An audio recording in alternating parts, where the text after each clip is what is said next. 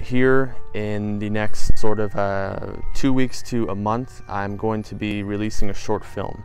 Uh, in other words, a short movie. Uh, this is something that I've been wanting to do for years, and I finally have the uh, means and all of the um, equipment in order to finally do so.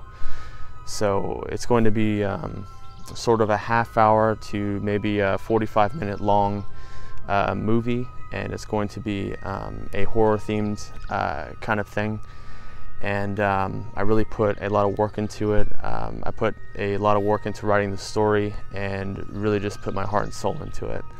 And I'm really, really looking forward to uh, making it and uh, putting it here on YouTube for you guys to see, for uh, anybody who might want to see it. Um, so anyways, that's um, in the future and I just want to uh, put that out as an announcement.